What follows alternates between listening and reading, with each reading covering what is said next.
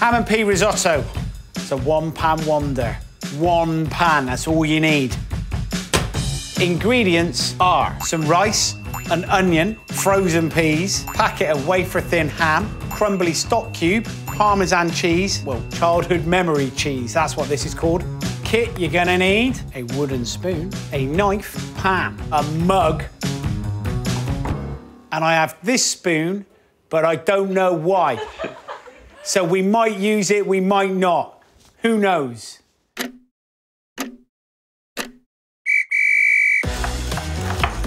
Chop your onion into chunks. And the thing about onions is that they give off a lot of acid that makes you cry, all right?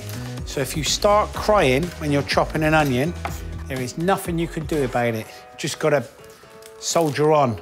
A good splash of veg oil, and then into that, the onion. And there's natural sugars in the onion, and they begin to caramelize. And this is quite important, right?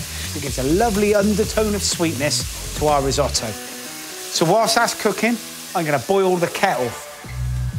And that is not to make a cup of tea. You're gonna need it to cook our rice. Now, there's special kind of uh, risotto rices, arborio rice, carnaroli rice, but it doesn't matter what rice you're using, really. What we're using here is cupboard rice, rice that is in your cupboard. We're gonna have one mug of rice to three mugs of liquid. You can see these onions, they're just beginning to get a little bit caramelized and a little bit brown. And then into that, the rice, give it a good stir around. Next thing, grab yourself a stock cube, just kind of crumble it up into the rice. Then we're gonna pour in the first mug full of water, all right? And stir. Keep it stirring, keep it stirring. Stir, stir, stir, stir, releasing all those starches.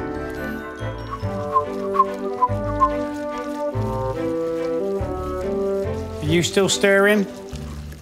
You can see as I'm stirring it that the liquid is kind of going like a pasty colour. That starch is coming out and you can feel it sticking in the bottom of the pan.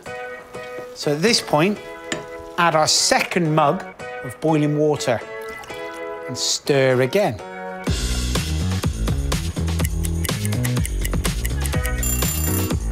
Just about ready to add my last mug of liquid. I wonder if Marcus has got a Tom Kerridge mug. Keep stirring your rice.